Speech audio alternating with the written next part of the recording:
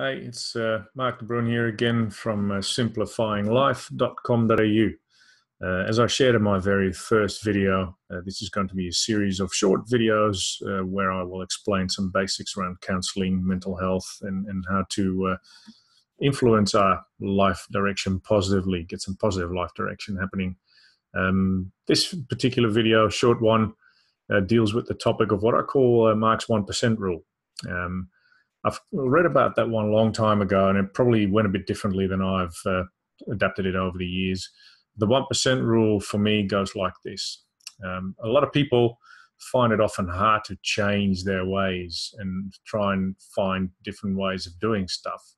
Uh, makes sense because sometimes it is hard to change your ways and, and have your life go in a different direction. On the other hand, what I also find is that when people are actually ready to do stuff, and, and make some uh, serious changes, they generally want to do the worst things or the, the hardest things first. And then they bite off more than they can chew, get disappointed because they don't get the results that they want, and ultimately give up. That's what often happens anyway. Uh, to counter that one, I've come up with what I now call Marc's 1% rule. My reasoning has always been in my own life, but also in my professional uh, role as a counselor with clients that you don't need to make drastic changes in order to get drastic change happening.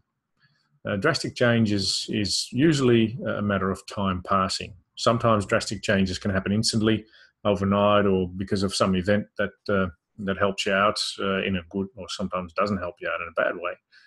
But usually, it's it's a matter of small step, you know, the steps, and, and keep taking those small steps.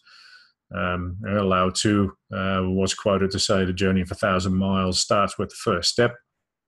And that's pretty much how I see it as well. And that's where Marc's 1% rule comes in. Again, my reasoning is if you take one step change, if you make a one step change or 1% change in your life and do that a 100 times, 100 times 1% means everything's changed because 100% change is everything changed. So the tip for today is, and we can discuss this hopefully, uh, if there are things you would like to change and you are in the process of making efforts to change but find it too hard, have a good old honest look at whether you're probably taking off too much or biting off too much, you know, too much for you to chew. Perhaps scale back a little bit. Look at what's realistic.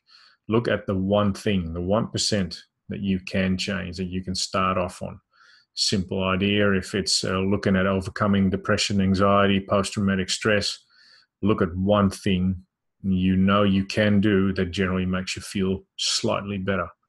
If it's doing a hobby, see if you can take up that hobby. If it's not watching the news anymore, see if you can just not watch news anymore or not read the newspapers anymore for a week or for a day. Just do something that for you equates 1% change. Then the following day or the following time you're ready for it, make another 1% change and aim to keep up the first percent, obviously, but make another 1% change. And then suddenly you got two. And sometimes you're able to do something or take some action that actually equates to 5 or 10% change and then keep that up. Slowly but surely, if you increase your actions and increase your commitment to making another 1% change, you'll be amazed at what you'll slowly start to see happening as long as you keep the previous one percenters up. So that's the gist of Marc's one percent rule. Again, happy to uh, to receive feedback and comment on this if you've got any questions left. But make one percent change. Commit to doing one thing, one percent, and commit to doing another one. Keep that up a hundred times, and you'll find that everything's different. Let me know because I sometimes uh, it's it's not that easy in life, and a little bit more support is necessary. But start entertaining the thought that you can do one thing that will be for you on the road to changing everything and see what happens. Until next time, any questions, email me on marc, M-A-R-C, at simplifyinglife.com.au and uh, I'll be happy to answer your questions. See you soon.